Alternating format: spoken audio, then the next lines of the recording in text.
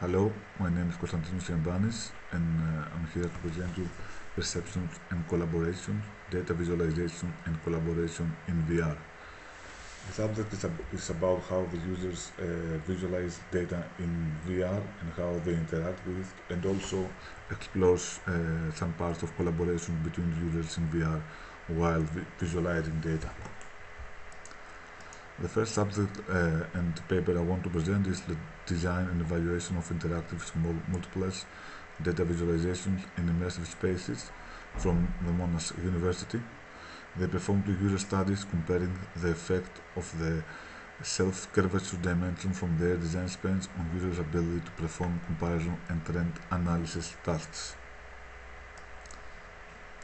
The technology and the hardware that has been used is the HTC Vive Pro with the room scale experience, the Unity engine, a VR uh, ready Windows PC, the VRTK for interactions, and the IATK for rendering and data visualizations.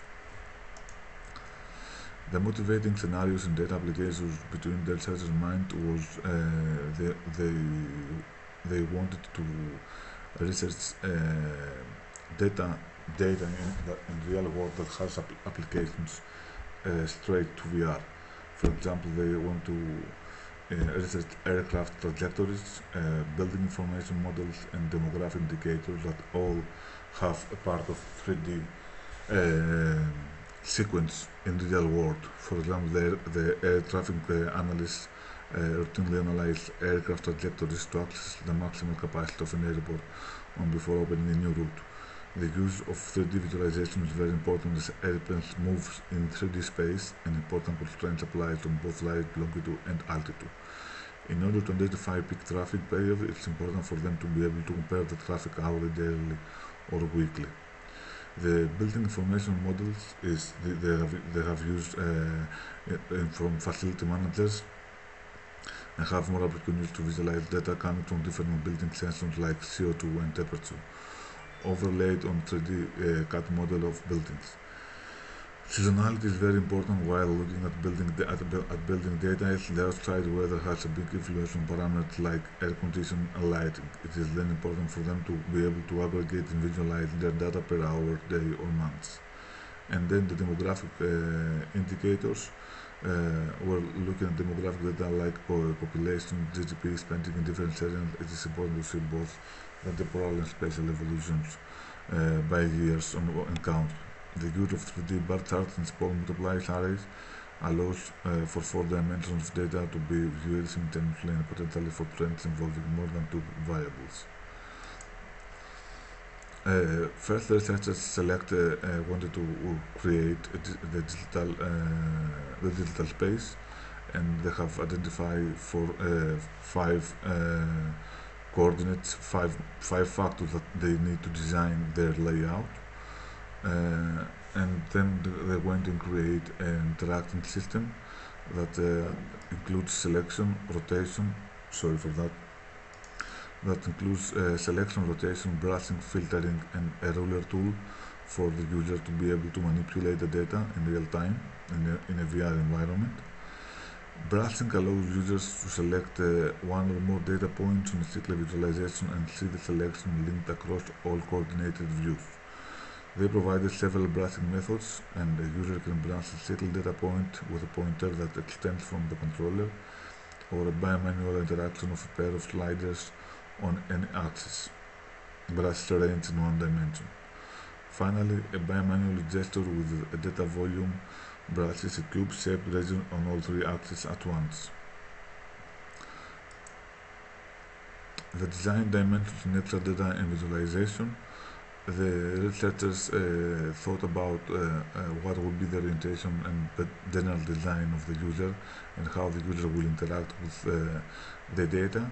And they have decided four uh, variables will, will need to decide what, what is the best layout to test. But the first one is dimension, the second one is the curvature of the of the of the visualizing rates, the aspect ratio, and the orientation of the user rel- relative to the data. So here you can see that this is a horizontal curvature, vertical horizontal, vertical in the study and they finalized their thought that they will use these four uh, variables to determine uh, which layout they will test. The layout that they have decided uh, to, to use was uh, a flat layout, as we can see here in B, a quartz circular layout, as we can here uh, see here in C, and a half circle layout, as we can see here in D. Task consists of a visual comparison between pairs of visualizations that are, are part of a small multiplied displays. More specifically, participants have to compare the value of two specific data points between two specific multiplies, in a total of 12 multiplies placed in a 2D cells with a grid of 4 columns and 3 rows. The datasets. The bar which is, bars which is, which is a typical representation of multidimensional data, non-spatial 2D data and BMI, which contains data that has special references from frames such as a floor plan. The parameters, as we explained, uh, the parameters that they will use to test these layouts uh, will be time, accuracy, travel distance, gaze, and the preference of each user in the way they interact with, the, with, their, with their models. The first will start with the result bar datasets. So they find out that uh, this time overall participants were faster to complete the task with the with the flat layout.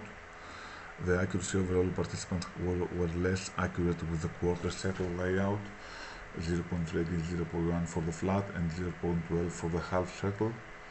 The travel, the travel distance uh, they didn't see any difference in the distance participants traveled during a trial between the different layouts.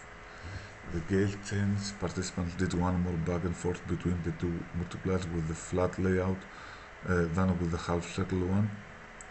And the preferences when they look at the ranking of the layout, uh, they can see that five participants ranked a quarter circle first against four participants for the flat and three for the half circle. So the quarter circle was the first that the the users would prefer to do the research and analysis against all others. With the BMI datasets, the only difference they found is between the quarter circles and the half circle layout was that quarter, quarter circle faster was faster by 4 seconds. In accuracy, there is no difference between the three layouts. There is also no difference for the short comparison distance in travel distance overall there is a difference between the travel distance between the quarter circles and the flat by 0.7 meters. The gauge change overall they cannot find any difference between the number of back and forth switches between the two multiplies and they can only see a difference in the short distance in which participants did almost two more switches with the flat than with the, with the half circle one. And the preferences for the BMI datasets, six participants ranked quarter circle and half circle layout first against two uh, for flat. Only one ranked quarter circle layout last against five for flat and six for half circle. Here we can see a very detailed uh, diagram that is a fusion of all the data the scientists have collected.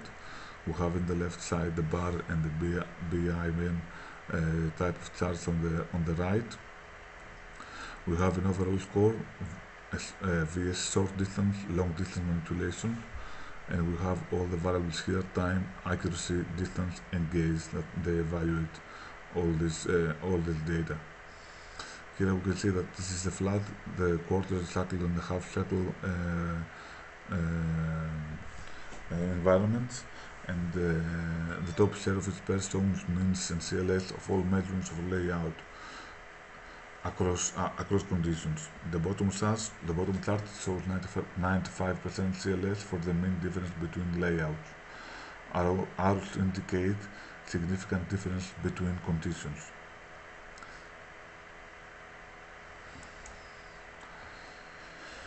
This is the result of the ranking for the three layouts uh, for the bar condition and the BIM conditions for, for the boss. So for the for the BMI condition, we see the quarter circle was uh, first, and for the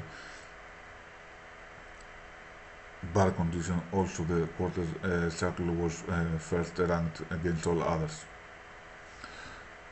the BMI then the half circle came second but the, the, in the BMI in the in the in the bar in the bar the the flat surface came second and uh, third we had the half circle in the bar and the flat surface on the BMI so here we can see depending on on type of data that the users analyze may find some environments some uh, design environments uh, better suited to visualize and manipulate.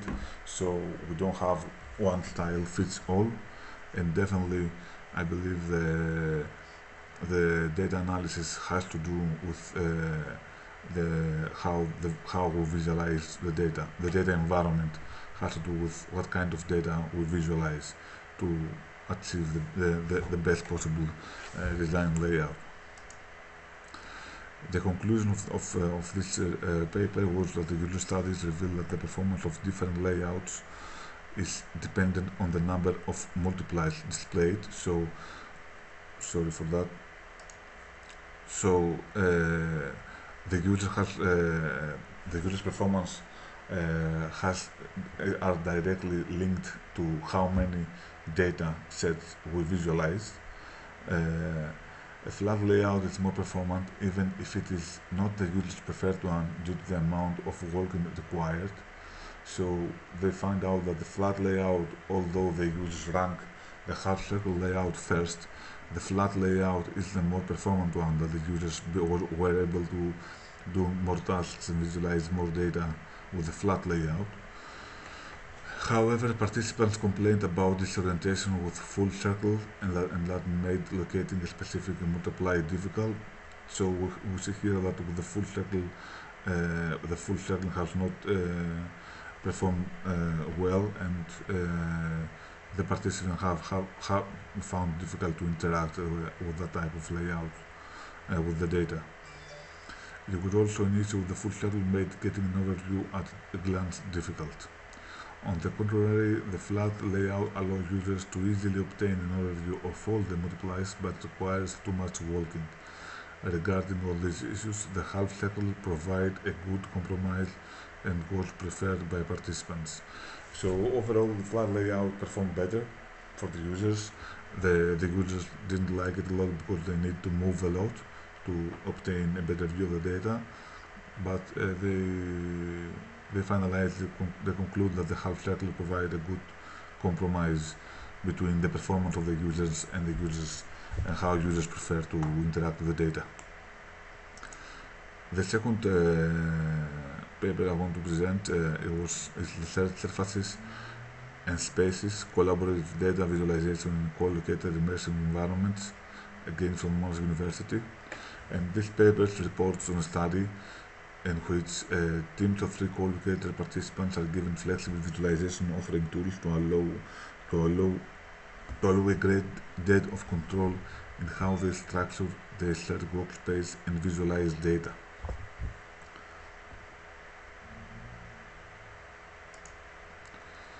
Here we will see a, a video shortly.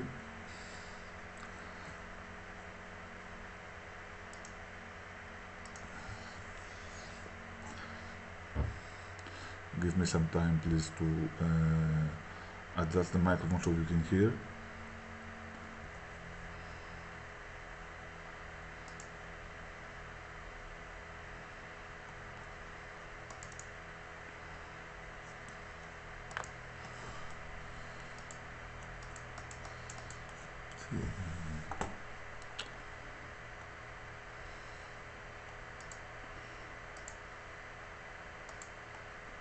Researchers have focused on exploring how novel arrangements of physical display surfaces, such as tabletops and wall displays, can be combined with augmented reality to support collaborative data visualization. However, how users collaborate is often dictated by the setup which the user has little to no control over. In this research, we present a user prototype we call Fiesta, the free-range immersive environment to support team-based analysis, in order to explore how users collaborate in a shared, physically co-located virtual environment, where users are free to choose where they work, Fiesta is built around three main design requirements. Fiesta uses the Immersive Analytics Toolkit to support basic visualization tasks accessed by a two-dimensional panel. This panel allows users to alter visualizations which they can then position in the space around them. The panel itself can be moved, allowing users to dictate where and how they work. Fiesta has baseline data visualization functionalities, allowing users to perform operations such as binding dimensions to visual variables like size and color, specifying linking attributes for time series style visualizations, and faceting the data by dimension. Users can also inspect data points using a details on demand function. Fiesta is a shared environment, with each user represented by a virtual avatar and everything being shared and interactable by everyone to allow for workspace awareness. It was deployed on tetherless VR backpacks, allowing free roaming in the room-sized environment. Fiesta uses virtual walls to act as boundaries of the room. To further explore the surface metaphor, we include a virtual table in the center of the room. These surfaces resemble their real-world counterparts, with users able to place visualizations onto them at will. Fiesta also introduces a number of novel features to support collaborative visualization, such as shared authoring panels supporting tear-out style duplication of visualizations, visualizations that can be scaled and positioned freely on the surfaces or in the space around the user, brushing of data points with both shared and private modalities, tools for annotating visualizations, and support for an arbitrary amount of users in the immersive space in both co-located and remote contexts. We used Fiesta to conduct an exploratory study to observe how participants organize their workspace, collaborate with each other to find insights in the data, and make use of the surfaces and space around them. We had 10 groups of 3 participants in total, 5 groups in study part A, where we restrict them to 2D visualizations and without the table, and 5 groups in study part B, where they have 3D visualizations and a table. They were asked to use Fiesta to solve data visualization tasks together with a mix of directed tasks and free exploration tasks. Some of our high-level findings are Groups are able to perform collaborative visualization tasks in the immersive environment, typically using mixed focus collaboration styles.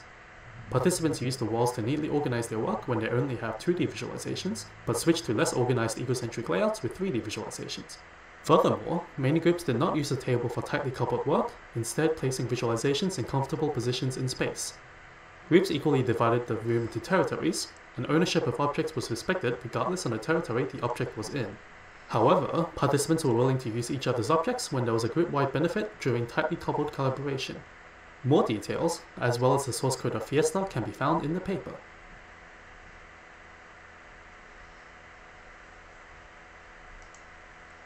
Researchers have focused on exploring how novel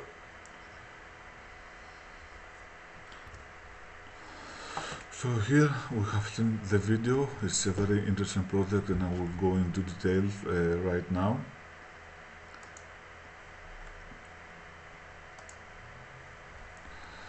So they designed, uh, the University of Mass, they designed, developed Fiesta to study how groups co collaboratively explore data in a free roaming immersive analytics environment. The requirements to produce the prototype was uh, a baseline data visualization system, a free roaming shared environment, and a room and, uh, and the room and affordances. That was the ingredients they needed to put in place in order to produce uh, that prototype. The technology and the hardware they used, uh, they used HTC Vive Pro uh, also, they have integrated VRPC backpacks uh, for the Vives in order to have a tetherless experience and be able to, uh, to, to, move freely around the room. They use the VR 2.2 stations to avoid uh, tracking issues between the three participants of the of the of the, of the pictures you can see here. Uh, they use a Windows PC that manages the VR backpacks remotely. They use Unity engine to develop the prototype and the Unity Network engine Photon. And also they used IATK for rendering data points. The first requirement uh, for the baseline data visualization system uh, was built around a customized version of the Immersive Analytics Toolkit uh, IATK. The interaction they choose a user interface element that are standard across desktop and uh, VR environment to minimize uh, learning time and curve for the participants. Uh, to create visualization, users interact with the flat panels uh, reminiscent of a physical touch panel displayed. The panel is split between a user interface and accompanying with a visualization. And uh, also the users have a pointer brushing and, and annotation tools that uh, are, avail are, available via a spin menu above the user's uh, offhand. The and selection of data record is uh, linked across all visualizations and uh, all users can see what other users do. Everything is shared. except from the, from the brush tool. The second requirement was the free roaming shared environment we mentioned, and the goal was to emulate a physical co-located collaborate environment using VR. Uh, they wanted a tetherless VR experience to prevent tripping and uh, enabling free roaming around the room. They used the, the Oculus Avatar SDK to embody the user's uh, head, body, and torso and hand models, and uh, gave that gave presence to the, the sense of presence between all three, all three participants, participants and uh, make collaboration much easier. And also each user and uh, each user was defined by one color. So as you can see in the picture, red, yellow, and green. So and also their tools were the same, the same color and their uh, diagrams and charts. So with that, with that, the, each one was able to separate his work from another person's work and uh, familiar, familiarize himself with with uh, their colored works.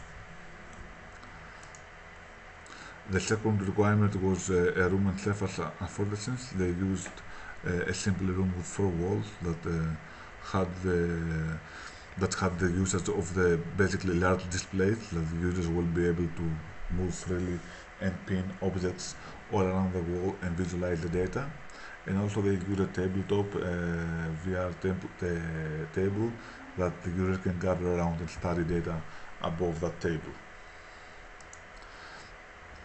The user strategy of this work is uh, to explore how groups behave in a virtual environment like Fiesta and helps solve visual analytics traps and understand how users utilize surface-based functionality to accomplish this. The part A performed many. The part A of the users performed uh, many more uh, actions per minute than part B, particularly due, due, to the increased use of the panel to modify visualization properties. Uh, the average stack of duration participant movement actions performed on panel to visualization collaboration time collected from trace data and collaboration with video coding. So as you can see here, the the actions that the part A took was much much better because they utilized the features of the applications uh, more. Here we can see a type of uh, heat map uh, for each participant and their objects sampled every 5 seconds using a perspective uh, projection. Uh, large dark gray border is the wall as you can see here and here and uh, the gray center was uh, is the table the tabletop that the, that the user can gather around, uh, above. Brightest areas indicates more time spent there. Red green and blue each represent a unique participant as we said and visualization panels use the same color as their owner. So here we can see that uh, the red user has placed his visualization data in this in his side of the room the blue and the green have done the same and have already all, all of them have defined a virtual space that can work and then they don't mix with each other. Although they can they can work each other as you can see here that they gather around uh, the table and they visualize data above the table and they collaborate closely at any time. Also this is a heat map of how they move during the experiment and how uh, they interact with each other. This is an actual photograph. It's not for a tight couple collaboration. Uh, G7 working on the same panel together on the left and G6 working on, on 3D visualization on the center table together on the right. So both both users uh, they're able to visualize and uh, speak with each other and uh, analyze data that they're interesting to without uh, without obstructing each other's work. The conclusion from this paper was that the participants uh, that the third VR environment was useful in maintaining workspace awareness and to share findings with each other. The authoring panel metaphor allowed them to easily create 2D visualization and organize them neatly along the virtual walls, not only for presentation but in some cases for exploration and analysis. The 3D visualizations were frequently created but were freely suspended in convenient locations in space rather than on top of the virtual table. These surfaces, while optional for users to use, were inherently predefined. A future direction could be more to explore immersed workspace configuration when users are able to arrange their own surfaces. Our study, their study also confirms that previous results from collaborative work studies in non-immersive environments and that the organ orga organically divide the 30 virtual environment into equally sized territories which were good for individual work. They transitioned to tiled coupled collaborations either by observing each other's work or through discussion regardless of physical distance. The use of avatars and pointers facilitate collaboration with uh, deixis, allowing part participants to work while up closer or, fun, or when far apart. However, a potential factor in how groups worked was the use of uh, co-located VR environment as participants may have been apprehensive to perform uh, certain actions due to the risk of, of the collision. The possibilities I, I have discovered after, after the research I've done uh, was found in another company that was a very interesting one and I want to share, you, uh, share with you a video uh, that I found for them.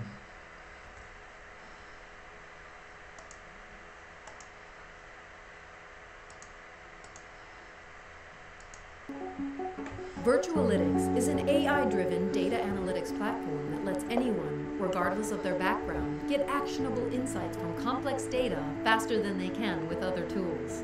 Our advances in artificial intelligence and immersive visualizations allow users to enhance and automate data exploration faster and more efficiently than ever before. Virtualitics suite of machine learning tools not only recommends and builds revealing visualizations, but also delivers interactive insights. With our smart mapping tool, users can select a key performance indicator, and VIP will instantly rank the most influential metrics to show you how they affect your target data. 3D network graph visualizations automatically build interactive reports on trends, anomalies, and relationships existing within your unstructured data. And with GPU-based processing, we're able to render and compute results up to 100 times faster than any other business intelligence tool. VIP enables users to generate multi-dimensional visualizations, which include features like size, playback, halos, and filters that drastically improve your storytelling capabilities. Additionally, the Virtualitics Python API allows you to seamlessly integrate VIP into any workflow with ease. For those looking to immerse themselves even further, Virtualitics offers users the ability to explore, collaborate, and share their data in virtual reality and in real time. Virtualitics, changing the way we understand data.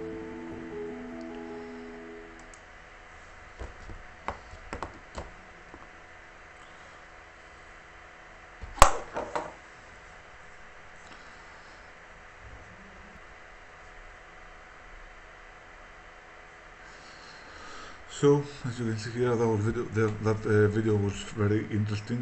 They have uh,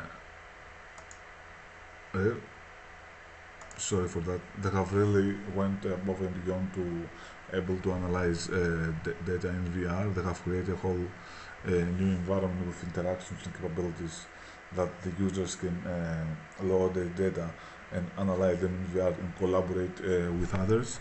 And I believe this is collaborating data, collaborative data analysis in VR or AR will be uh, will have a huge impact in the future in uh, in every in every section of research uh, because it will allow a different perspective and uh, to collaborate with others at the same time and basically share your knowledge and analyze everything in real time.